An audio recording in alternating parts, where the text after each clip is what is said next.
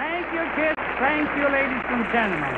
While we're off and swinging, next we bring you Hoagy Carmichael's masterpiece, Stardust. And you'll hear our sensational clarinet man, Henry Cuesta. Henry